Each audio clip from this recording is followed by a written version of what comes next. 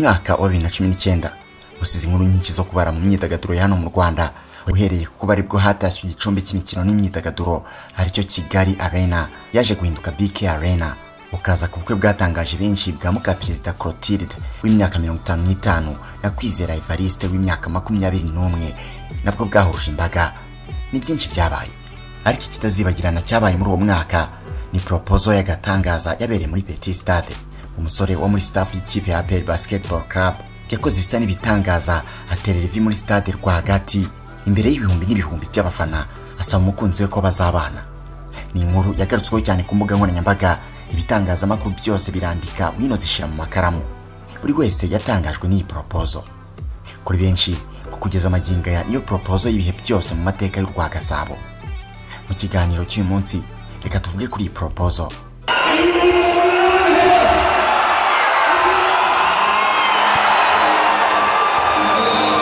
byari ugufata risiki ihambaye kuri uyu musore kuko kwiyemeza guterera ivi muri stade imbere y'imbaga y'abantu bangana batya.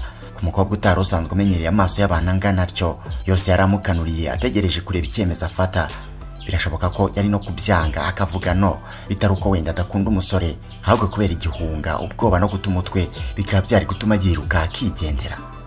Ibaze yamukatira isoni n'ikimwara umusore yari kugira imbere y'ibihumbi bingana bitya byari risike mu zindi.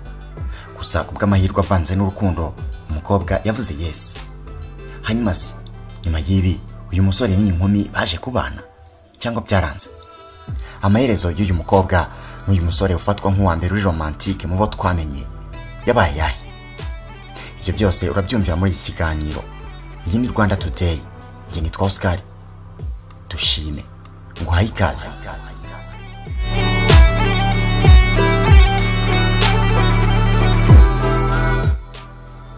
Ikaze nanone mu kiganiro cyacu kandi cyanyu. Umuntu umwe yagize ati burya buri muntu icyo akora cyangwa se domene abarizwamo n'igena imigirire mu bintu byinshi anyuramo mu buzima bwe bwose amara ku isi. Niba uri umukristo uzasanga usenga ndetse ukora ibyo abakristo ba nyabo bakora. Niba uri umuhanzi kandi uzavuga gihanzi ugende nk'abahanzi ndetse unakore nyine nk'ibyo abahanzi bakora. Niba uri umujura birumvikana nabwo uzabigenza utyo. Ibi mvuga byanashimangiwe mu buryo bwihariye n'umugabo witwa Guillaume. Uyu ni umukunzi w'umukino wa basketball. Aho icyo gihe ashimangira ibi yari umutoza wungirije wa APR Basketball Club. Urumva ko igisata abarizwamo n'imikino. Bivuze ko ibikorwa bye byinshi n'ubundi abikora binyuze mu gisa n'imikino. Ibi yabishimangiye neza kandi mu buryo bwihariye ubwo yambikaga impeta umukunzi we imbere y'imbaga y'abafana. Muri stade abafana ari uruhuri. Mu mashyi menshi banakoma akaruru maze umukobwa arumirwa hafi yo kumurenga ngo yiruke. Uti byagenze gute? Mbere y'uko nkomeza iyi nkuru reka ngusabe ubanze ukandi kuri subscribe niba utarabikoze. Winjire mu muryango mugari w'abakunzi ba rwanda today.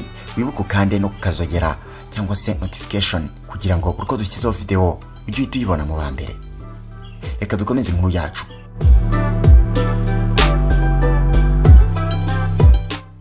Byose byabaye mu mwaka wa bibiri na cumi n'icyenda. Byabereye muri petit stade.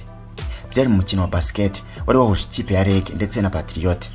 Ubusanzwe izi ni ikipe zihangana cyane mu rwanda. Hakiyongeraho kuba ari na zo zifite abafana benshi ugereranije n'andi makipe bigatuma zirushaho kuba bakeba ibyo abakurikira basket hano mu rwanda barabizi neza. Ubwo rero muri ya minota y'akaruhuko abari muri petit stade bose bari bemerewe kuza mu kibuga bagahiganwa mu gisa n'irushanwa ryo kunaga umupira muri paniye ariko umuntu akabikora yipfutse agatambaro mu maso niko bari babipanze. Aha rero ni ho uyu Guillaume umusore w'ibigango rwose ushinguye umusore wirabura w'agasatsi gake hafi ya ntako mu gashati kajya kuba buresiyeri n'akajinisi k'ubururu bwerurutse. Yagize atya yongoza umukunzi we bari bicaranye bari kurebana mace aramuhagurutsa ati sheri ngwino tugende ujye kwatwika.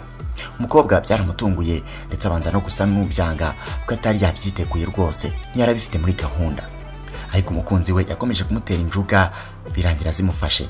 Abari bicaranye nawe ubwo nabo niko bakomezaga kumwoshyushya bamutera injuga. Bati genda ubikore ubemeze genda uhatwike tukuri inyuma. Kera kabaye umukobwa yaje kubyemera aratambuka mu maboko y'umusore we begera imbere rwagati mu kibuga. Kumbe ntiyarazi bigiye kumubaho. Ntiyarazi ko agiye gutererwa ifi no kwambikwa impeta mu buryo buzasigara bwibukwa mu mateka nka poropoze imwe mu z'ibihe byose zabayeho mu rwanda.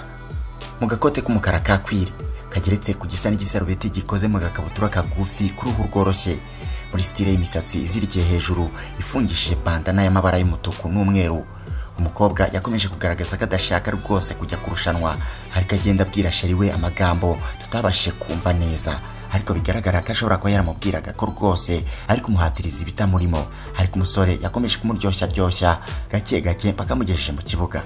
Akihagera umushyushyarugamba cyangwa se MC nawe yari yakamejeje kwa kundi kwabo n'ijwi riranguruye ririmo energy ati amashyi menshi ku mukinnyi ukurikiyeho.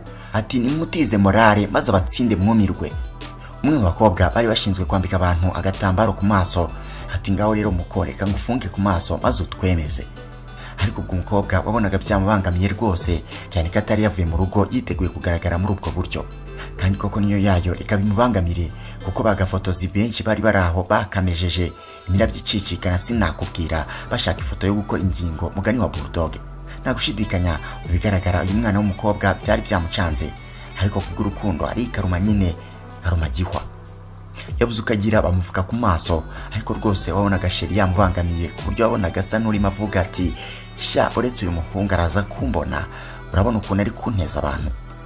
Kumbe ntiyarazi bigiye kumubaho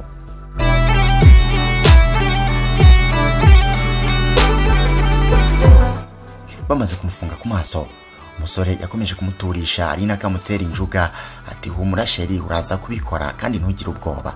Umusore rero ubwo yahereje umukobwa we baro ya basiketi disi umukobwa wabonaga byamucanze yibaza imikino sheri wari kumukinisha ariko ntasobanukirwe ibyo ari byo umufotozi wabo nawe yari yabukereye buri kanya imirabyo yari kunyuranyuranamo ariko kuko umukobwa yari apfutse ku maso ntabwo yari azi ibiri kujya mbere. Mu gihe umukobwa arimo yitegura kunaga umupira muri paniye umusore nawe yarimo afungura ka kabogisi babikamo impeta. Arangije asubira inyuma gake gake maze inyuma y'umukobwa iva ririmya kuri beto yo mu kibuga cya basiketi muri petit stade rwagati. Umukobwa wacu ubwo yari yaminiye baro arayinaga ayohereza muri paniye. Ariko ntiyajyamo. Cyane ko nawe atari yiteze ko ari bubibashe dore ko yaranapfutse ku maso atari kuhareba. Mubyibuke aha turi muri petit stade. Abantu bari benshi ari uruvunganzoka. Umukobwa yabonye atabibashije ahita atera intambwe asubira kwiyicarira. Ariko atarajya kure abasore bari hafi aho bahita bamutangira bamusaba guhindukira. Akareba aho sheri we yari ari ateye ibipfukamiro. Agikebuka yakubiswe n'inkuba kuko yatunguwe no kubona umukunzi we ivi riri ku butaka. Ubwo umukobwa yahise yipfuka ku maso no ku munwa mu kamwenyu kavanze n'udusoni agaragaza ko atunguwe cyane nyine bya bindi byabo. Umusore we ku maso yagaragazaga urukundo n'umunezero nawe asekamo niko kumubaza ati will you marry me? Umukobwa byaramurenze yifata ku munwa maze atazuyaje atera intambwe aramusanga ahita amugwamo barahoberana biratinda. Abafotora ubwo barafotora reka sinakubwira maze stade yose batera hejuru bati say yes say yes. Ubwo bihinduka intego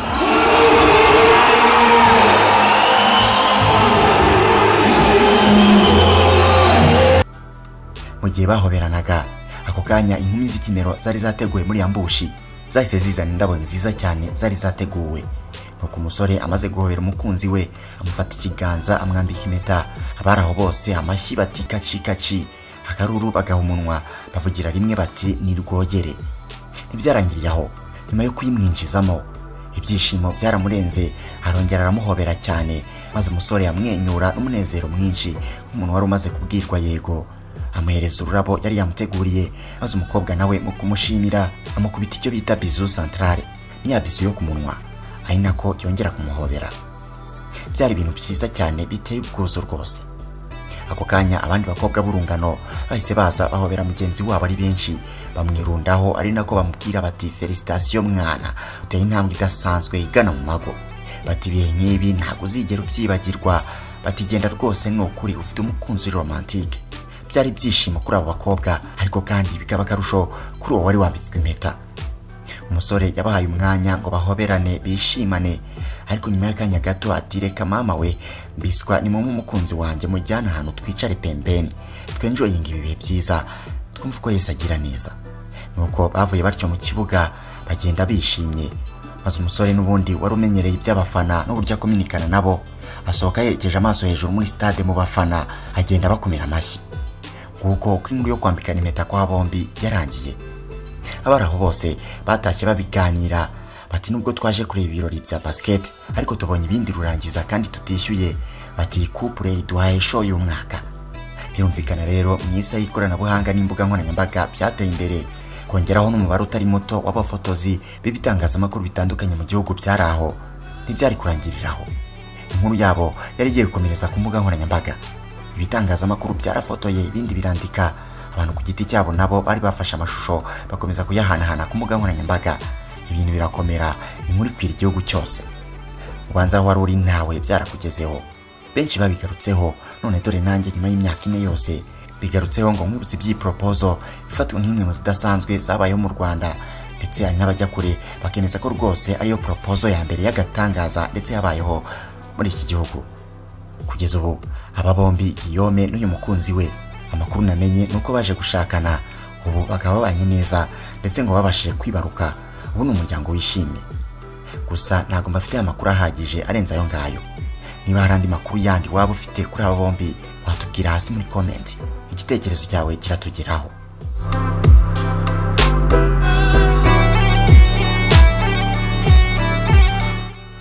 Ngayo nguko ngibyo ibya poropozo ya mbere yagarutsweho cyane ikavugisha benshi ndetse inafatwa nk'ibihe byose yabayeho mu rwanda mu zimaze kubaho twamenye. Uyu ni nawo umusozo w'ikiganiro. Wakoze kugikurikira hano kuri rwanda today. Nitwa oscar dushime. Nawe ubutaha imana ibarinde.